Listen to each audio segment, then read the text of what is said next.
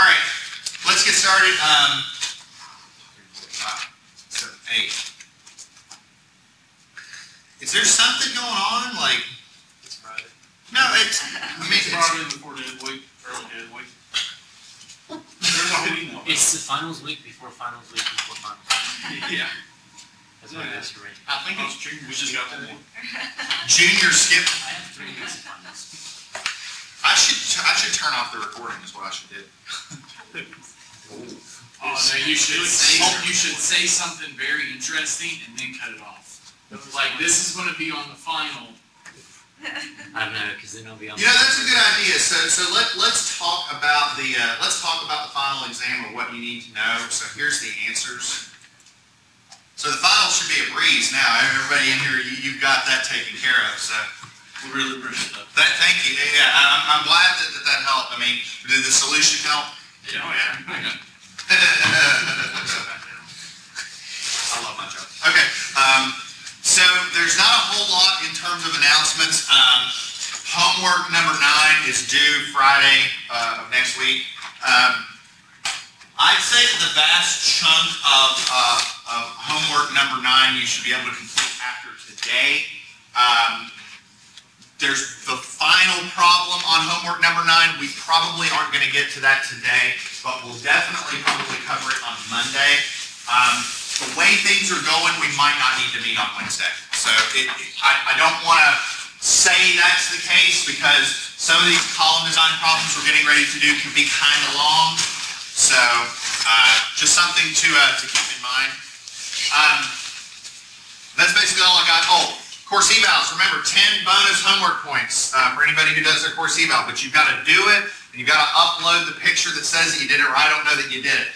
I've got 11 people that have uploaded the picture indicating that they've completed their course evals, but I know 12 people did it. So somebody did it, and I'm not going to know who did it unless you upload. And again, that's free homework points. So something to keep in mind. But again, if you got any comments or, or, or suggestions, please, I, I take that stuff pretty seriously. Okay. Columns. Let's talk about columns and specifically column design. So, um, I'm gonna go through the, the process pretty quickly because we've got uh, a couple examples going into the process, so I don't need to go uh, uh, into that very explicitly.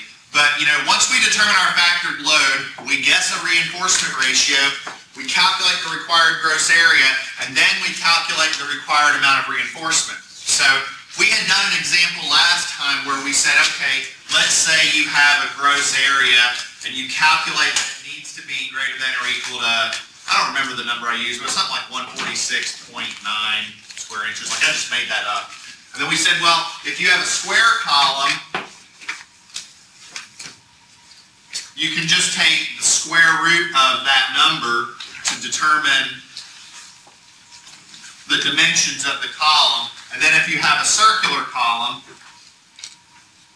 you would say, okay, the diameter is 4 over pi times that,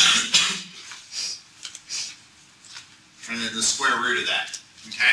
Now, I don't remember explicitly how the numbers worked out, but I think, uh, and don't quote me, I just made these numbers up, but I think this number came out to something like 12, uh, 12.1 inches, and this came out to something like 13.6 inches. I, I, please don't, don't quote me on that. It, it- that could be wrong.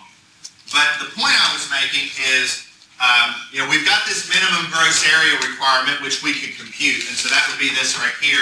And then if we were dealing with a square column, we could determine the required column size, and we could determine the required diameter if it was a circular column. And what we can do, and this is what might seem a little strange, but what we can do for columns is we can say for this, we could say we'll use a 14 inch uh, diameter column. So if you see it written like this, it just means diameter. But here, we could very easily actually round this down and say use a 12 by 12. And you might think to yourself, well, that flies in the face of everything that you've been saying all semester, Dr. Wright, because what that means is, you know, we're solving for a required column size, and typically you would round that up. you know? Like, this is what we need, so we're gonna provide a little more. Well, the way that I'm able to do that is I'm solving for a required gross area, but then instead of determining the amount of steel by just taking this and multiplying it by 0.02, I take the actual column size that I've picked, and I then say, okay, using this actual column size, what's the required amount of steel? So it- it's sort of like I'm using an assumption to figure out the size of the column, and then I use the actual size of the column to figure out how much steel I need. And it's, it's a very similar process. All I do is I take this expression right here and I just solve for AST. So I multiply it out, lump together all the AST terms, factor it out, and solve. Uh, so it's just a little bit of algebra to get right here. So to be clear, once you get your column size, you cannot take your column size and just multiply it by your, your assumed reinforcement ratio to get the amount of steel. I'm taking the actual column dimensions and recalculating how much steel I need. So what, what happens is this, so go back to the process, a good starting reinforcement uh, ratio is something like 0.02, okay? That's a good starting value. That's just an assumption that we're going to use to get a column size. Now, if I take that column and I bump it up a little bit, what's going to happen is my actual reinforcement ratio is going to be smaller than that. Because a bigger column, I don't need as much reinforcement. Whereas on the flip side, if I take the column and I make it a bit smaller, the reinforcement ratio has got to go up a bit to balance that out. But the big thing is you cannot take this actual size of the column and just multiply it by this. You got to solve for the amount of steel. Now, once you do that, you check all your little details, your tie, your all that, uh, you know, tie spacing, uh, all that, and there you go. Sound good? All right. We're going to do a couple design problems to, to give you a feel as to how this works. This is a really straightforward process as long as you follow the process. So I got two problems. One's a square tied column, one's a circular uh, a spirally reinforced column. So we'll do the, the square one first. So we're going to design a square tied column to support a dead load of 130 kips, a live load of 180 kips, and we'll begin by assuming a rho value of 0.02, and we'll use 4 KSI concrete, 60 KSI steel. It's a pretty straightforward design problem, uh, pretty simple. So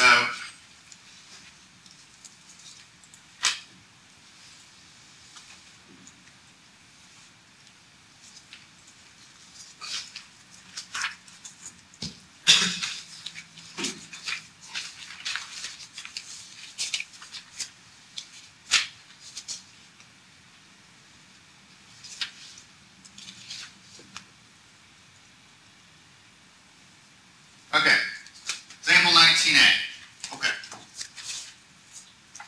All right, FC prime, let's write down some just column parameters, some system parameters, I didn't say that.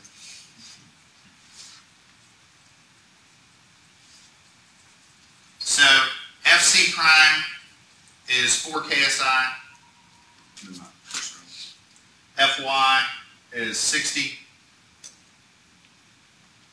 Okay, and then we have, let's see, uh, we're gonna assume a rho value, and I'm gonna write it like this, of zero point Remember, the problem said begin by assuming two percent. So that's, that's what this is, 0.02. So the big thing I'll write here is assume. All right. Now, um, we know that the dead load is 130 kips and the live load is 180 kips. So where is, so what, first off, what do I do?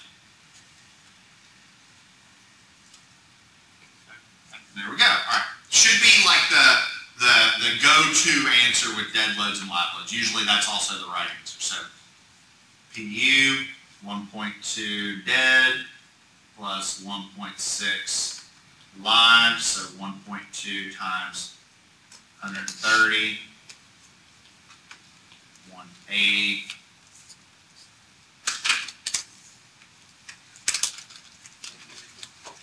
Four forty-four, do I have a second on that? Okay. Now, one other question, uh, this is a square tied column. So from an ACI design perspective, there's two values that I can, uh, that, that I'm gonna need for a column design. If I'm using a square tied column, what two values does that tell me about? As opposed to a round, circular, spirally reinforced column. Phi and alpha. Phi and alpha. And so what are phi and alpha for a square tied column? Point six five and point eight. There we go. So phi is zero point six five, alpha is zero point eight, and so if you want a reasoning for that, it's because it's a square. Or no, no, no, no. Let me let me let me rewrite that. Keep interchanging this. Tied column. Most tied columns are square, so that's why it's easy to mess that up. It's one of those like, what is it, all squares are rectangles, but not all rectangles are squares kind of thing. So it's, it's easy for me to, uh, mix that up. Okay. So we've got our factored load, and so this is how our design philosophy is gonna work. So we're gonna start off with the required gross area. Right? So there's two design expressions that you're really gonna need. And that's this one and this one. Okay, so let me.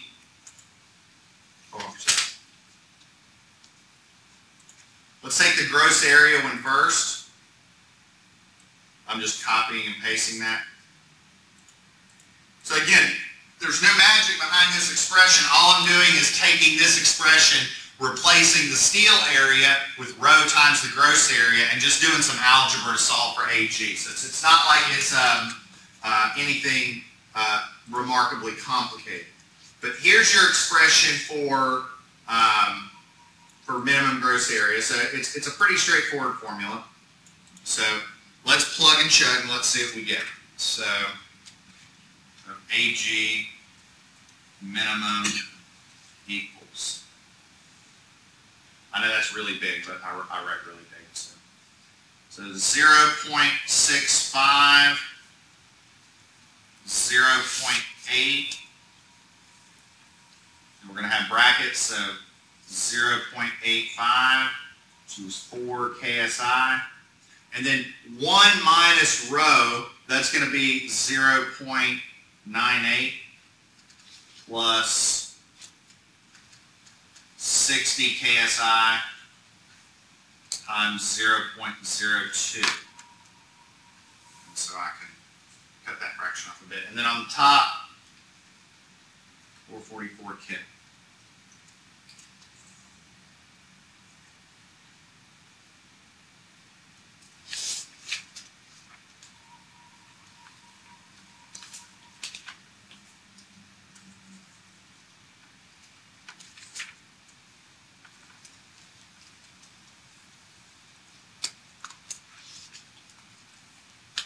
And so what does that come out to be?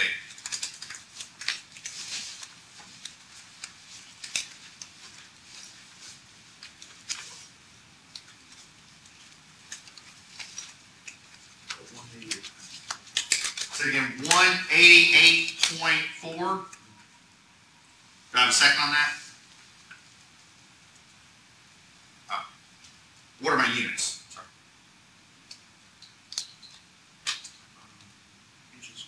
Inches squared. It's an area, we're taking kips and we're dividing it by kips per square inch. So you flip and multiply the units. Okay, and so one eighty-eight point four, did I get a second on the value? Okay, all right. So that's the, um, that's the area of the column. This is a square column. So I can take B minimum to be one eighty-eight, or sorry. So if I want to determine the, the dimension of the column, what do I do? Square root, there we go. So one eighty-eight point four inches squared. And so what does that come out to be? Thirteen point seven inches. Do I have a second on that? Okay, all right. So let's be crystal clear as to what we're gonna do. So we'll say nineteen A. Because I, just want to write this down so that everybody sees what we're doing. Okay, we started out for, for, for this example with a rho of zero point zero two, okay?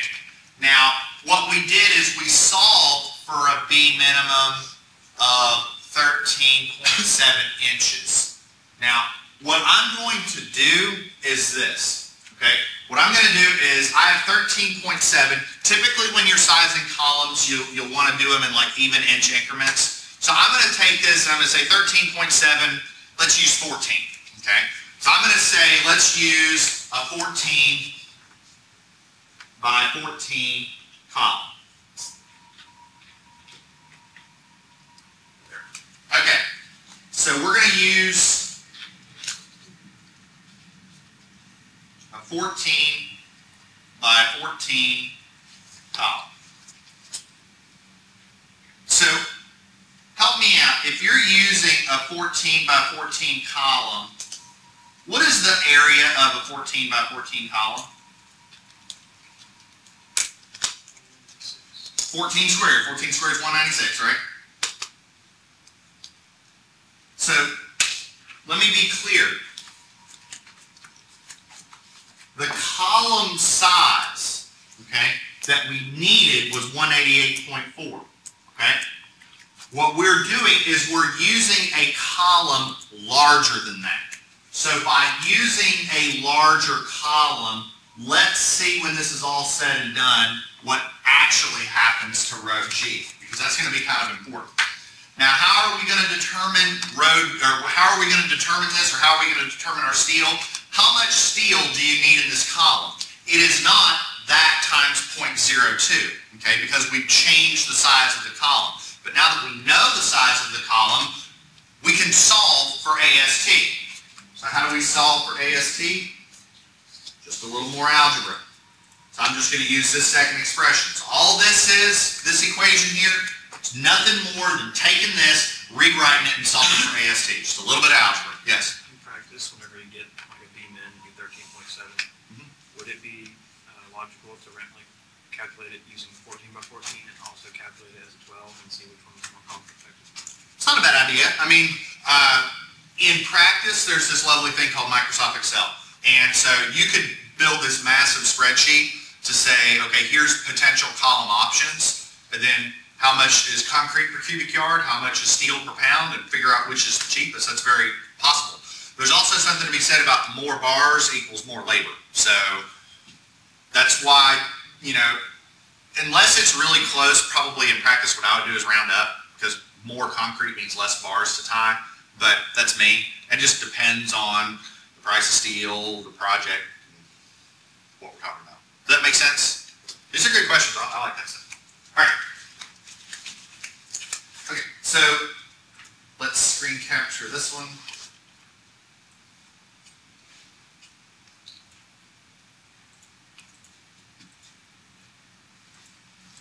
So again, to determine the required amount of steel,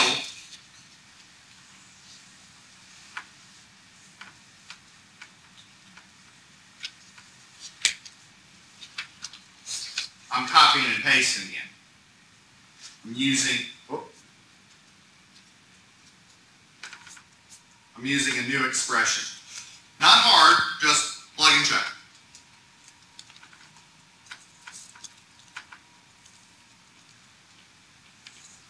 Alright, so, let's see the top, so that's four forty-four kips minus. Now, be careful with this, I'm gonna show you something. So this is phi alpha, so 0.65, 0.85, then 0.85 again, then four KSI, then one ninety-six square inches, okay? I'm gonna write this out, and I'm gonna go through this formula again, just to make sure everybody's clear as to where this Wasn't stuff. alpha just zero point eight? Is it zero point eight? Oh, that's right, it is zero point eight. Thank you. For circular, for, for spiral columns, it's 0.85. so you're gonna write that again, thank you. All right, so 0.65, 0.8, 60 KSI minus 0.85, 4 KSI.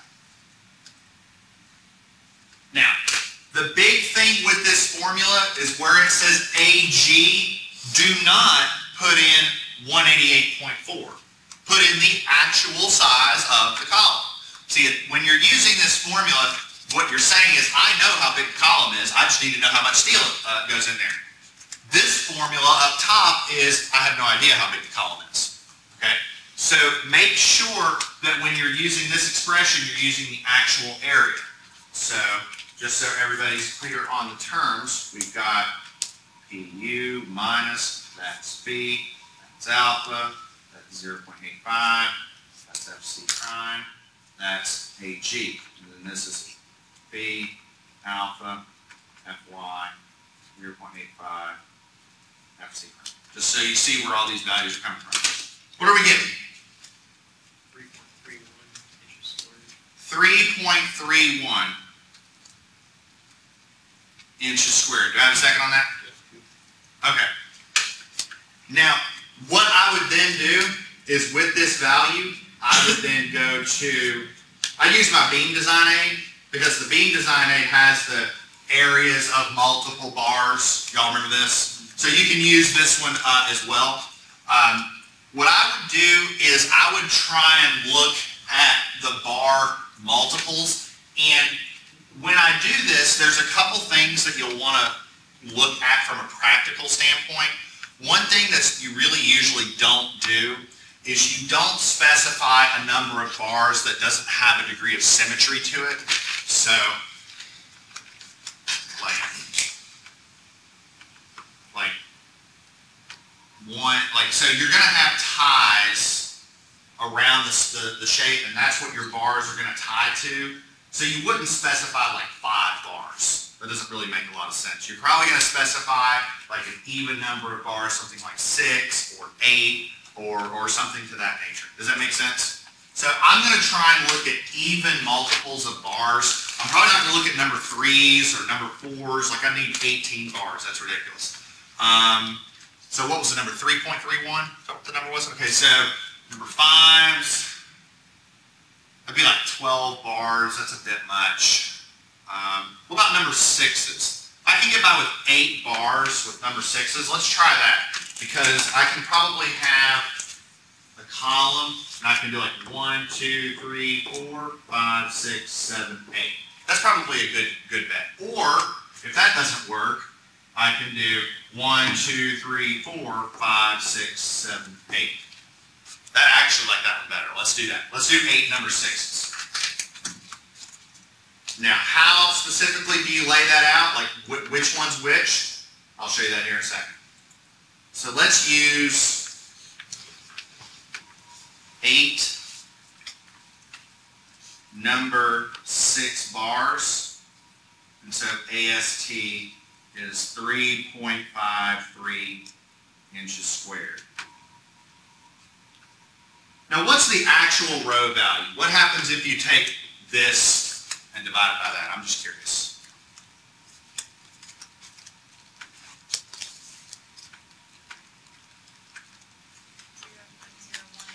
Zero one eight. So zero point zero one eight. So what happened was, this was the rho value that we estimated. We used a bigger column, so by using a bigger column, we were able to use less reinforcement. So the actual reinforcement ratio is different. That's completely fine. Okay. Um, now, theoretically, your a your rho value should be less than 0.02 because you made the column bigger. However, looking at your beam, uh, your design aid, you know there's only so many multiples of bars, so sometimes this effect won't be as pronounced. Something to keep in mind. Okay. So, we've got our column basically figured out. So, there's just a couple things that we need to figure out in order to fully design the, uh, design the column out. So, let's look at tie selection.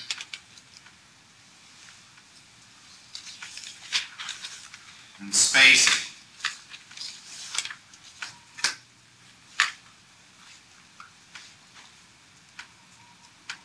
All right. Now, what are the size of the longitudinal bars that we're using? They're number what? sixes. So what size tie should I use? Number three or number four? That's my hint. Got to go through your notes. Number three, bar sizes, number six or larger. No, no, no, not number six. Hold on, hold on. hold on. Threes if they're longitudinous. No, it's not, it's not number six. You're, you're right that it's number three, but it's not, it, number six isn't the cutoff. Number tens are the cutoff. Remember, here's the tie column requirements, and if your longitudinal bars are up to a number ten, you use a number three. Anything bigger than a number ten, you use number four bars. So we're gonna use number three ties. Alright? So, the longitudinal bars, smaller than a number 10. So that means use number three ties. All right? How do we determine how far apart the ties are spaced? Let me ask you this. Do I want to design a column that has a boatload of ties or as few ties as possible?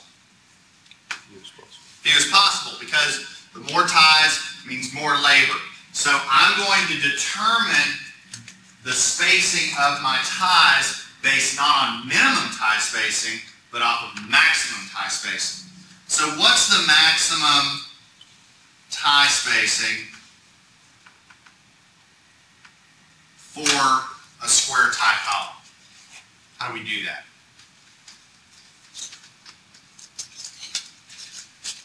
It's the smallest of There we go.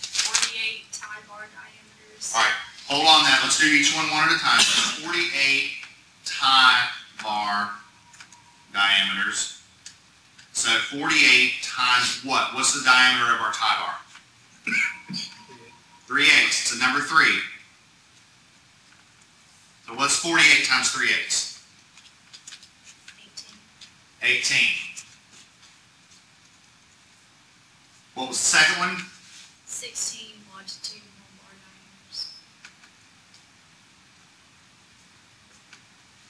So 16 times what? What's the diameter of a longitudinal bar?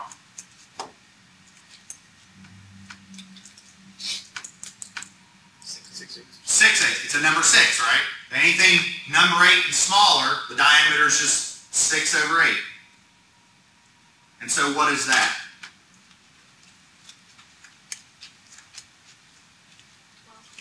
12 inches.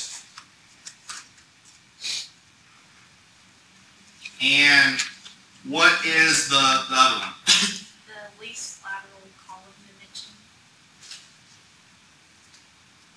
And what is that going to be for this column? 14. It's 14 by 14, right? So, so which one of these is going to govern? The 12. So the column is starting to look like it makes sense. We have square column, 14 inches by 14 inches. We got eight bars. We've got their number sixes. We've got ties going around them that are number threes, and they're going to be spaced 12 inches on center, right? So the only thing that we have to sort of figure out is whether or not our column looks like this or it looks like that. Okay? Now, what I'm going to do is I'm going to assume that this works. Okay? I'm going to assume that that works. And I'm going to check that assumption here in a second. I got, before I do that, I'm going to do one thing. We have two remaining limits. So we're going to use this. Two remaining limits.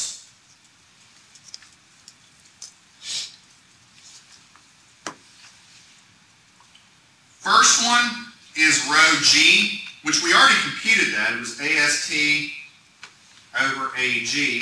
So that's 3.53 inches squared over 196 inches squared. And that equals zero point zero one eight. Why is that a check? What does that value have to be? Is it bigger than, smaller than, what's the deal? Has to be between one percent and eight percent, and are we good there? We're good, right? It's between 0.01 and 0.08. That's good. Now, the big one is how do I figure out whether or not this works or this works? I've got to check the clear bar spacing. Okay? So,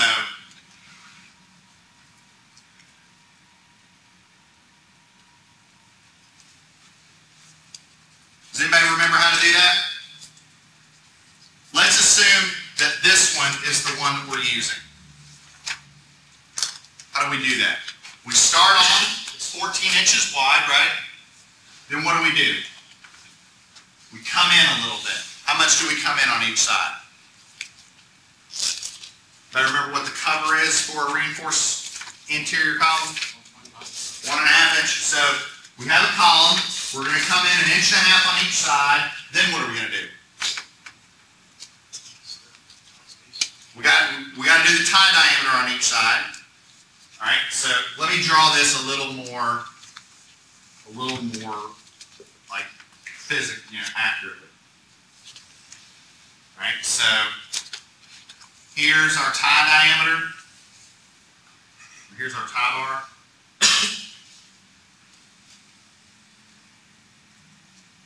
And then we've got one, two, three, right?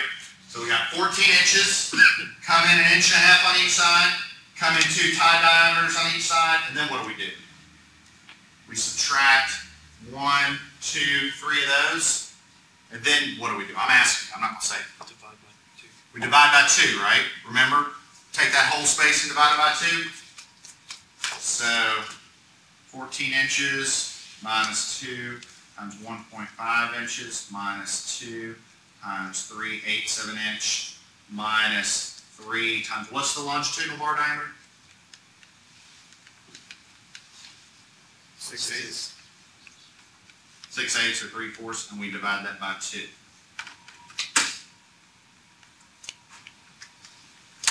What does this come out to be?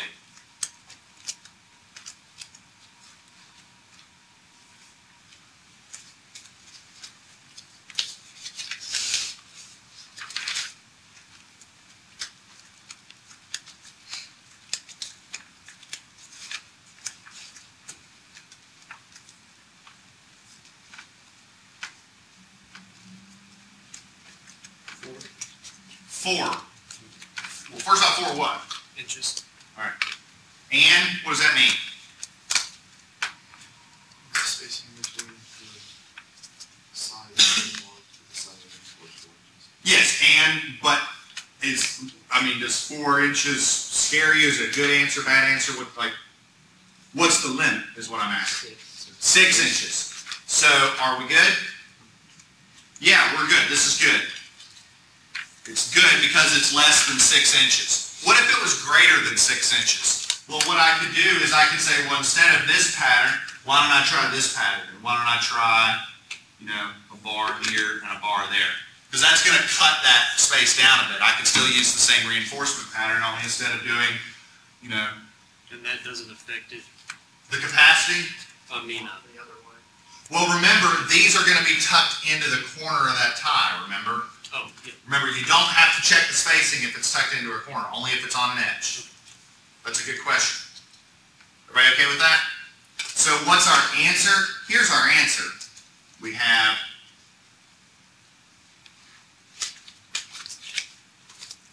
square column. We have one, two, three, four, five, six, seven, eight reinforcing bars, so eight number sixes. We have a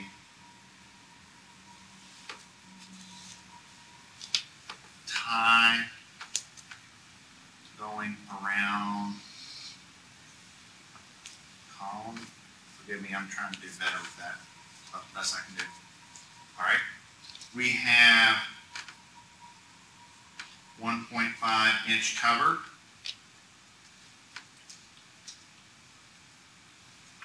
These are number threes at what spacing? How far apart are the, the, the tie space along column? Well, Twelve inches. And this dimension is fourteen inches. This dimension, fourteen inches. You all just design the column. So go to your Third Avenue parking garage, once you determine the load on that column, there's your column design. We didn't consider how tall the column is, and is that how the That's a good question, and that, and so what we're using is short column behavior, assuming that the column isn't gonna buckle, um, which is, if you're dealing with somewhat short columns, that's not a big deal. Um, when you're dealing with a super high, long bridge pier, then, yeah, it, it's an issue.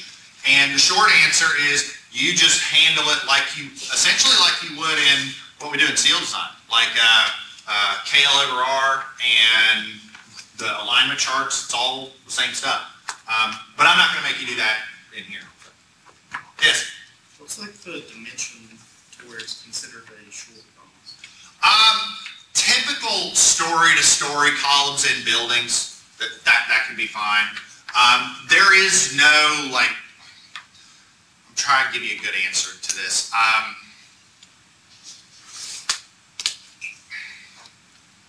re, in reality, you would kind of need to check both, um, but let me, let me, let me try and, I'm gonna make up some numbers, okay? You're in steel design, right? Yeah. Okay, all right. So, this is not something I'm gonna make you do on an exam or anything. So, but this will just give you kind of a rough idea, okay? So, let's say that the E value is something like 3600 KSI. Now, do you all remember how to compute E for concrete? 57,000 times square root of FC prime? So that, that's probably gonna be close enough for, for what we're talking about. Now, what's the moment of inertia of this gonna be? It's 14 inches to the fourth over 12, right? BH cubed over 12. So what is that?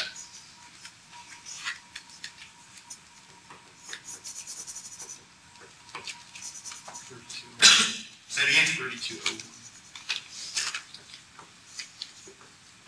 right?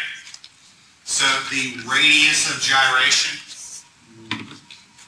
is the square root of I over A, which is what?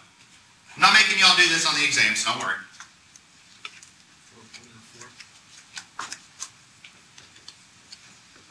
Okay, so, uh, let's say that the column is ten feet long. Right? And let's say it's pin pin, so K is one. What's KL over R?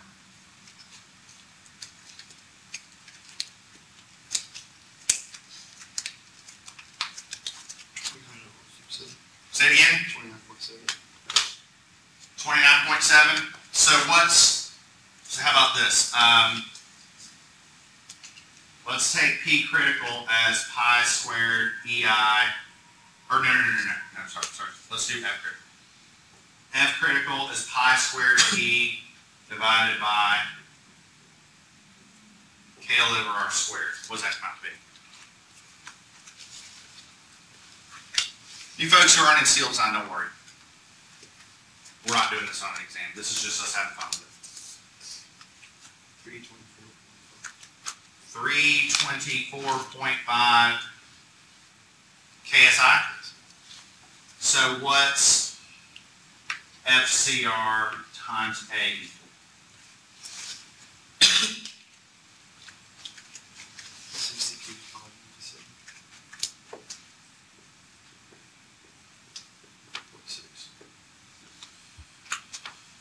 So it would take 63,000 kips to buckle that column.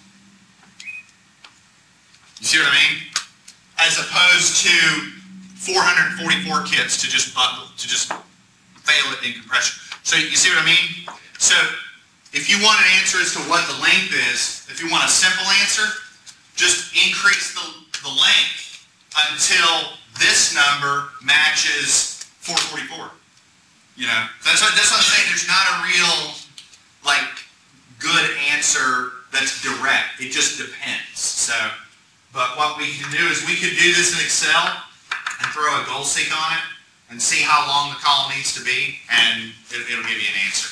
Now, that's a very simplistic view of like how you really handle issues with slender columns, but like for the Third Avenue parking garage, or for, or for a typical reinforced concrete structure, not a big deal. That makes sense? What is a big deal though is when you have loads taking, when you have a column and the column is being loaded in compression and it's being bent. That's what we do next. Any questions on this? All right, this is good stuff. I like this stuff. All right, let's try and start our next column design problem. We may not finish it, we'll see. But this column is, so we just did example 19A. Let's see if we can chip away some stuff with 19B. Um, 19B is a round spiral column. Um, and I- I'm probably going to go through it really quickly, but there's nothing in this example that's not terribly different from what we just did, except for how we spot size the spiral reinforcement and the fact that we're looking at a circle instead of a square. Um,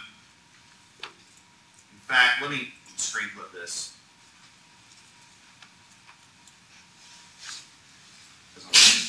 Bless you.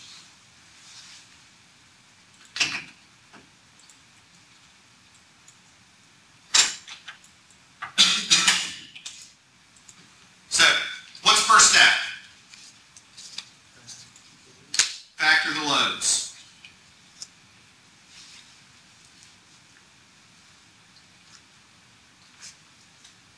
Does anybody have an answer as to what that would be? You have 240 kips in dead load, 300 kips in live load, so, I mean, can we just, like, do I have to go through the formality, or can you all just tell me what the answer is?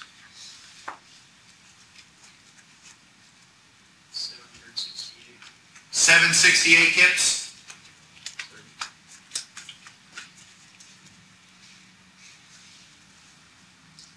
Okay, and so the next thing we'll do is we'll determine an AG min.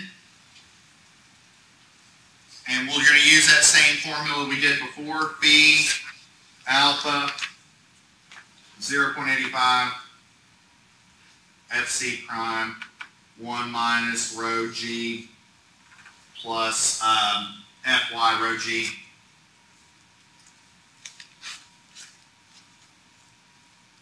And then up top we have PU.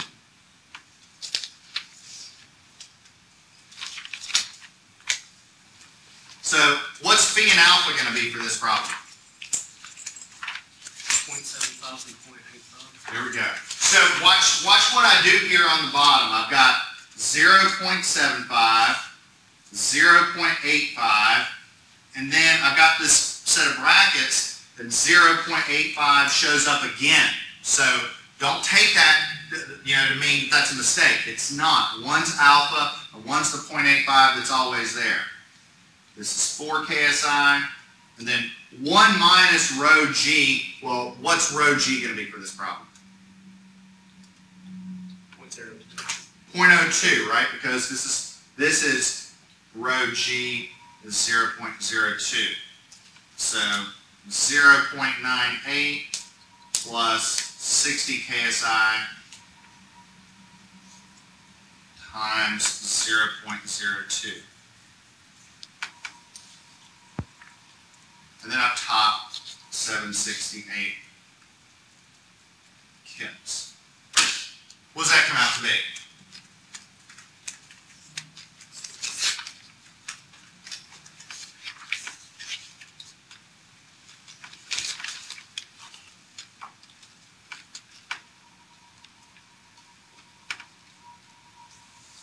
Two sixty-five point eight. Two, two sixty-five point eight. You have a second on that? All right. Two sixty-five point eight what? You just squared. There we go. Now, do I take the circle root?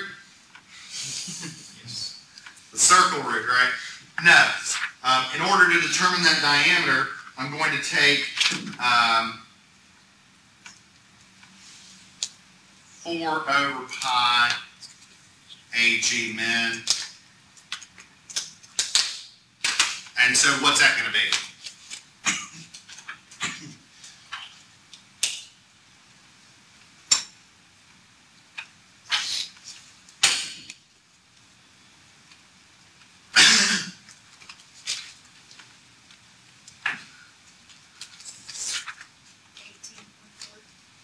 Eighteen point four. inches. Do I have a second on that? Okay. Now, the required diameter of this column is 18.4 inches, but that's assuming, or that's just an assumed reinforcement ratio.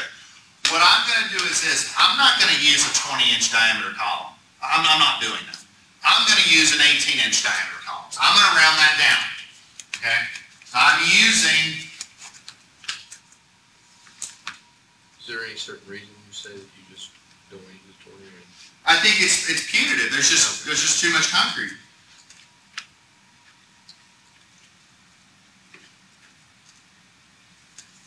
So we're gonna use a di, an actual diameter of eighteen inches, yes. So because the minimum diameter was eighteen point four, and we're now moving down to eighteen, can we do that because we can choose the value of, um, Rho. rho? Yes, that's why. In fact, the D min, I don't even like calling it D min, uh, but I can't really think of a better term that's easy. D minimum, if you keep the reinforcement ratio equal to 0.02, equals, you, you know what I mean? So, so. Now, if I use an eighteen inch diameter column, what is AG for that column gonna be?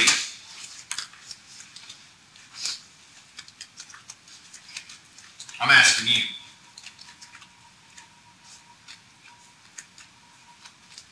Two fifty-four point five. Two fifty-four point five.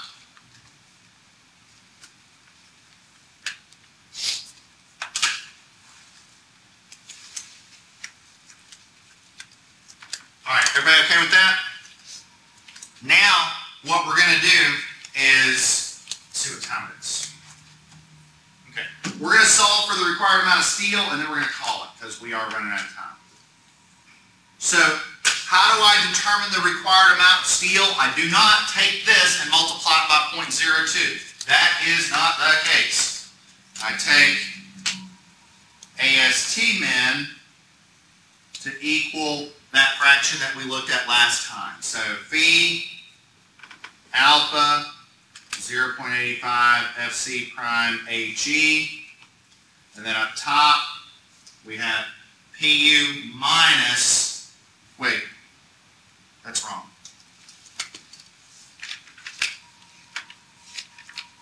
This is FY minus 0.85 FC prime.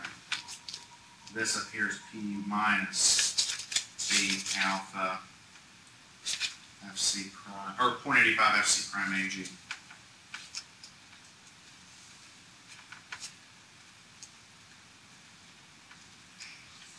Alright, so. Minus, now watch, 0.75, 0.85, 0.85 again. 4 KSI. And then for AG, use the actual area of the column.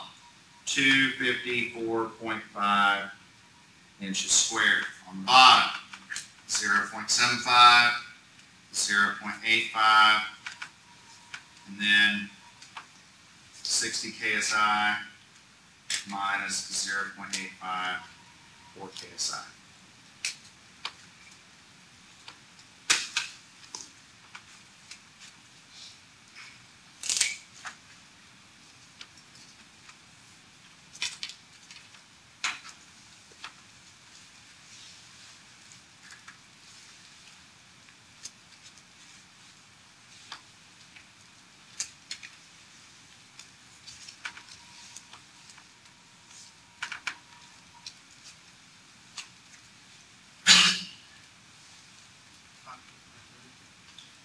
5.99 inches squared. Do I have a second on that?